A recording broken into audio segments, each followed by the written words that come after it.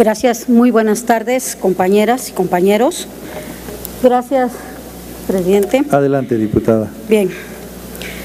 Iniciativa de reforma a la Constitución sobre los requisitos que deben satisfacerse para ser presidente de la República Mexicana. Exposición de motivos.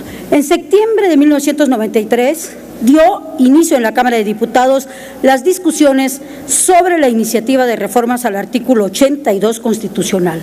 La reforma finalmente fue aprobada y publicada en el Diario Oficial de la Federación del primero de julio de 1994, quedando el mencionado artículo como sigue. Artículo 82. Para ser presidente se requiere, fracción 1, ser ciudadano mexicano por nacimiento, en pleno goce de sus derechos, hijos de padre o madre mexicanos y haber residido en el país al menos durante 20 años. La entrada en vigor de dicha reforma quedó establecida en el decreto aprobatorio para el 31 de diciembre de 1999 en el tenor literal de la, publicación de la siguiente.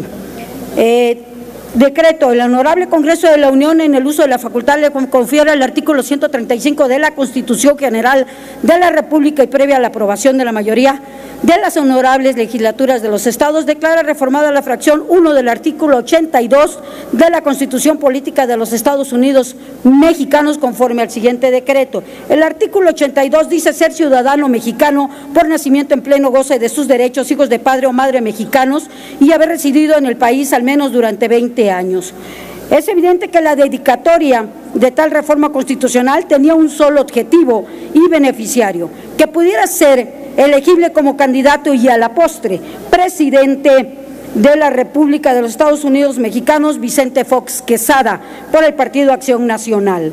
Acto que no podía llevarse a cabo según la disposición constitucional de la fracción primera de dicho artículo, pues el texto anterior de la reforma citada y el propio texto original de nuestra Carta Magna exigía por su propia naturaleza que el presidente de la República fuera hijo de padre y madre mexicana. Vicente Fox Quesada era hijo de madre española. Los principios básicos de la doctrina neoliberal aplicados en México desde 1982 hicieron necesario adecuar el marco jurídico en el que se daban algunas acciones del Estado mexicano. En este contexto, la reforma del artículo 82, fracción primera, tuvo como único objetivo consolidar dicha doctrina al abrir el paso a una persona que tan solo le exigiera que fuera hijo o hija de padre mexicano o madre mexicana, con la de modernizar la estructura política, social y económica existente y que el entonces titular del Poder Ejecutivo, Carlos Salinas de Gortari, promovió ante el Congreso de la Unión, aunado a otros pilares constitucionales que permitieran el establecimiento del más agresivo sistema económico como lo ha sido el neoliberalismo, a saber, los artículos constitucionales 3, 5, 27, 31, 82 y 130. A partir de la Constitución de 1917, en estricta defensa y protección de los intereses públicos nacionales, el constituyente estableció literalmente que el presidente de la República, para asegurar su compromiso, lealtad, patriotismo y convicción, debía satisfacer el siguiente requisito. Artículo 82, para ser presidente se requiere ser ciudadano mexicano por nacimiento en pleno goce de sus derechos e hijos de padres mexicanos por nacimiento.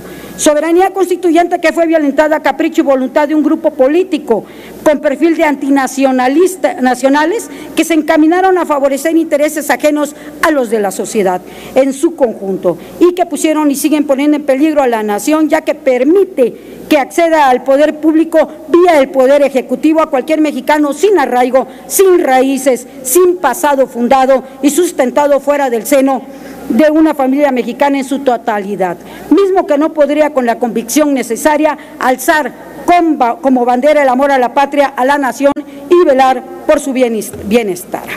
Ante esta situación, por los motivos antes expuestos y el artículo 30 también, que es conveniente reformar para evitar la presencia de personas que no aman a México, que no entienden las necesidades, que no saben lo que es haber nacido en México o que los padres pidan o se exijan las cosas mejores para los mexicanos y para nuestro país. También la reforma del artículo 30 en la calidad de mexicano se adquiere por nacimiento, por naturalización. Son mexicanos por nacimiento los hijos de los padres mexicanos nacidos dentro o fuera de la República, siempre que este último eh, caso los padres sean mexicanos por nacimiento se reputan mexicanos por nacimiento a los que nazcan en la República los padres extranjeros si dentro del año siguiente o por mayoría de edad manifiestan ante la Secretaría de Relaciones Exteriores que optan por la nacionalidad mexicana y comprueban ante aquellos que han residido en el país los últimos seis años anteriores de dicha manifestación. Por tales motivos, antes expuesto, presento iniciativa de proyecto único, se decreta único, se reforma y adiciona el artículo 30, apartado A, y se deroga su fracción 3 y reforma y adiciona el artículo 82, fracción 1 de la Constitución Política de los Estados Unidos Mexicanos Concluya, para que. Artículo 30, con mucho gusto. La nacionalidad mexicana se adquiere por nacimiento, por naturalización. Son mexicanos, inciso A, por nacimiento, los que nazcan en territorio de la República, hijos de padre y madre mexicanos por nacimiento, los que nazcan en el extranjero, hijos de padres y madres mexicanos por nacimiento, se deroga artículo 4 de los que nazcan a bordo de embarcaciones o aeronaves mexicanas, sean de guerra o mercantes, hijos de padres y madres mexicanos por nacimiento, y el artículo 82 Concluya. para ser eh, presidente de la República se requiere ser ciudadana o ciudadano mexicano por nacimiento en pleno goce de sus derechos, ser hijo de padre y de madre mexicanos por nacimiento y haber residido en el país durante los últimos 20 años. Esto es todo cuanto. Muchísimas gracias por su paciencia, porque es de sumo interés. Muchísimas gracias. Túnese a la Comisión de Puntos Constitucionales para dictamen.